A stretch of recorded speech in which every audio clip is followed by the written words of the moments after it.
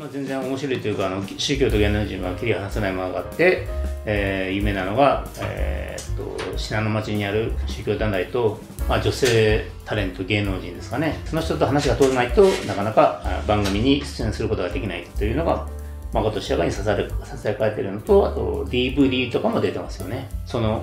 えー、女性タレントはその芸能界ではその非常に重宝されてるという感じはしますね。ままあ間違いないと思うんですけど。昔はだからオールナイトニッポンやってましたよね。うん。はい。2部やってました。あんまりでもそれ言うと、またね、あの、フライデーが食らったような抗議とかね、ありましたからね、昔はね。まあでもあれじゃないですかね。やっぱり、一番でかいのはやっぱり、ね、やっぱり創価学会は大きいんじゃないかなっていう感じですよね。本当に多いと思いますよ。以前、えー、僕があの、あるテレビ番組に出た時に、えー、倉庫学会出身のお笑いタレントがい。たんですけど、有名な人ですね。2人組で。だけどやっぱりその辺で、あの、冗談でその学会の人のね、代表のことを言っても、なんかこう、全くノーリアクションでしたから、あ、本当にし、こう、なんてい。うかな、振幅ってい。うんですか、してるんだなとい。うふうに思い。ましたよね。うん。多い。と思い。ます。はい、特にそのさっき言った、あの元オールナイト日本やってた、2部やってた女性タレントの力大きい。かなと思い。ますよね。うん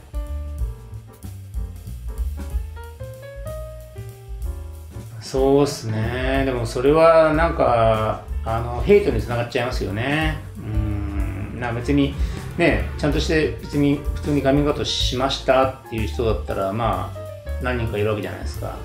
そうじゃない人も何でもかんでも、あの、ネット右翼的な人は、あの、いや、全部韓国人、在日だろうっていうに言う、その風潮が未だにあるので、えーと、誰々はそのね在日であれば大そのなんか犯人探しみたいな感じっていうのはやっぱりよろしくないので、まあ、この、うん、チャンネルにはやっぱりふさわしくないあれですよね。あのどっちでもいいじゃんっていうかまあカミングアウトしたい人はすればいいじゃんっていう感じですよね。だからまあしないしたくないのはしなければいいし。僕だってあのなんだっけな。誰かの誰誰かとツイッターで論争してた時になんか僕も在日になってましたし、うん、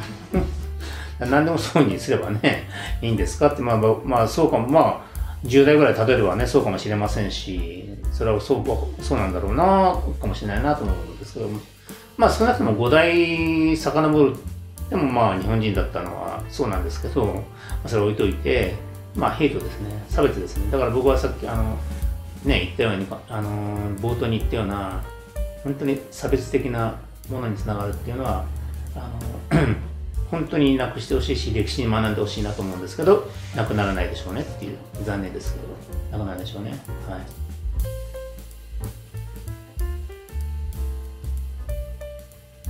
決めセグはやっぱり結構あるでしょあるんじゃないですかね。決めセグって。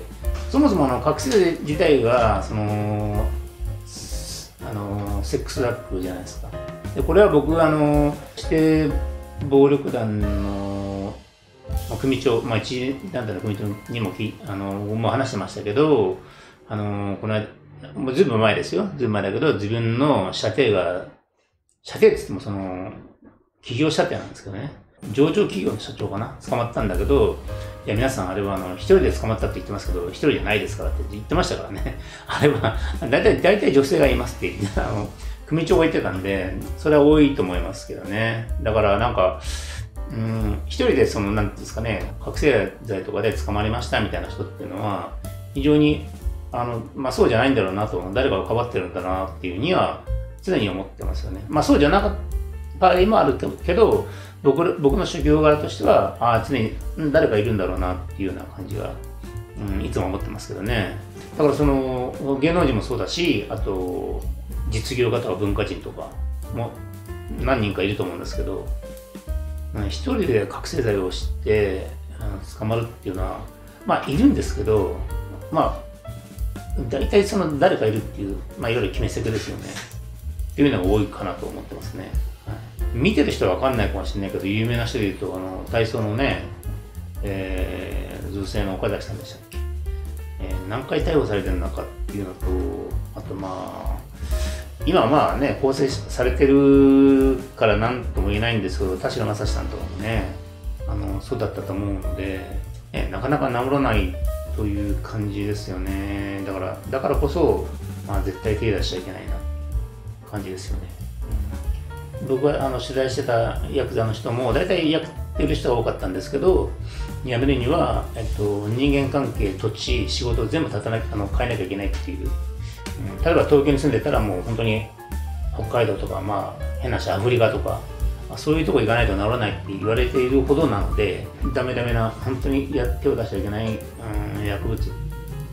うん、が覚醒剤だっていう感じのイメージですよね、うん、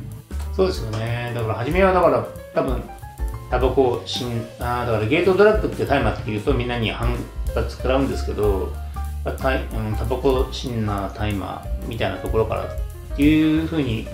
思ってしまいますよね。だからその、大体あの悪いことって先輩から教われるじゃないですか。あの、不良に限らずなんですけど。そのルートってあの治らないんで、で、その、特に多分、まあ、暴走族関係の人っていうのは、暴走族にはケツ持ちがいるんで必ず。で、ケツ持ちっていうのはヤクザなんですけど、ヤクザから、まあ、食えなくなったヤクザの先輩から下ろしてもらうっていうような感じでルートができてしまうっていうパターンが、あのー、あるああると思いますよね、うん、それは良くないなと。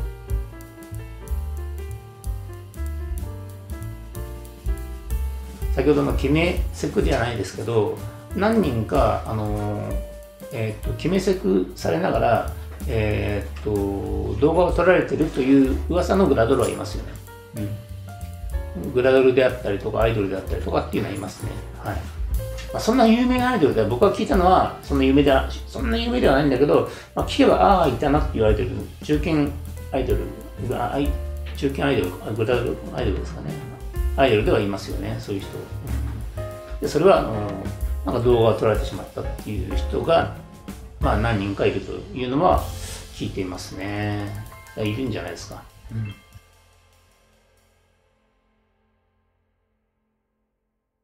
えっと、とある県警が調べている最中で、まあ、白っぽかったんですけど、あの、本当に有名な、えっと、誰も知ってる女子アナウンサー、美人で、えー、MC もできるアナウンサーが、えー、とある反社会性、反反社の、えー、っと、ヨットかなんかかな？で、パーティー、パーティーしてるところを望遠カメラで撮られちゃって それを原因、あのー、それが、まあ本当だったらね、ほん本当かと思って、一時期その、えー、っと、警察がわけだったんですけど、どうもちょっとぼやぼやけてるということで、えー、っと、いまいちオクラになってるっていうのはありますね。うん、で、そのアナウンサーは、うんと、今では本当に看板アナウンサーになってる女性アナウンサーですけどね。は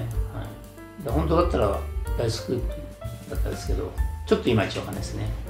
はいまあ、これも多分防犯条例とか防体法の影響ですけど、あのー、マスコミの、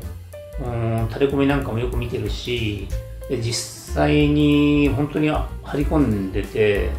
えー、だ、場所は言えないけど、東京近郊の本当に有名な場所で、えーと、誰も知ってる女優さんと、えーと、有名な組長腕を組んで歩いてるところを、その警察がパシパシパシパシ写真撮って、あこれは反社との付き合いがあるんだなということを、まあ、僕に教えてくれたりもしたんであそういうことねっていうのはまあ何回かあるので表に出てこないだけで、まあ、結構あの警察としては掴んでると思いますね。防犯条例の施行で当時僕を聞いてたのは現場の警察官が、まあ、警部クラスがえこれじゃ分かんなくなっちゃいますよって言ってたんだけど上司の愚痴を言ってて上司が、えーと、いやこの防犯条例であのヤクザってのは日本からいなくなるんだ言ってたらしいんですよ。そんなことはないんですけど、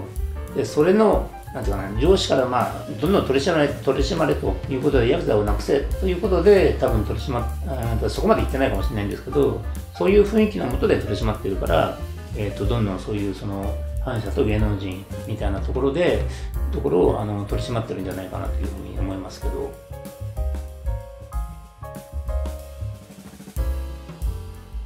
当たり前すぎるけど、だから逮捕された人っていうことになっちゃいますよね。うん。あ、だからその、あれでしょ？えっと、差別用語。ウルトラマンとか、うん、あなんだっけ、放射線でここに、ね、あの、変なふうな政治になっちゃったとかあれはタブーですよね、うん、なんだっけな？何政治だったっけ？ああいうのとかタブーですよね。だから人権問題とかででタブーなのはあるんじ多いんじゃないかな。あいくつかあるんじゃないかなっていうあとまああれじゃないですか。巨人の推しの、えっと、星飛馬がうちの父ちゃんは日本一のねあの肉体労働者でですってまあ言い換えましたけどまあ3文字で言いましたよね。それは多分タブーになってるんじゃないですかね。だから結構、えっと、エロとかいうよりもその差別用語とかでえっと、差し替え打ち切りになってるかかのあのものが結構多いかなというふうに思いますよね。明日のジョーとか見てると明日のジョーもそうね。ほとんどなんか音声途切れるとこいっぱいあります。やっぱありますもんね。そうそうそうそう。当時は良かったんだけどね。うん、僕もあの、あれだよね、実はナックスやってた時にかなり気をつけましたからね。あの、解放同盟の人のところに行って、この言葉は OK ですか？ダメですか？みたいな感じで気遣って、あ、これはダメ、ちょっと行くかもしれませんね、みたいな感じの根回しかかなりしましたんで、多分20年ぐらい前からあのかなり気遣ってるんじゃないかなと思って、再放送も無理なものも多くなったんじゃないかなっていう風潮は多分20年ぐらい前からあるんじゃないかなと思います。はい。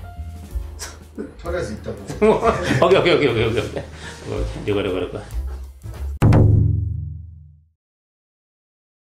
今日はタブロの公式 YouTube チャンネルをお送りしたんですけれども、えー、いいと思っていただいた方、えー、ぜひいいねボタンとできればチャンネル登録をよろしくお願いします。ごめんね、カミカミで。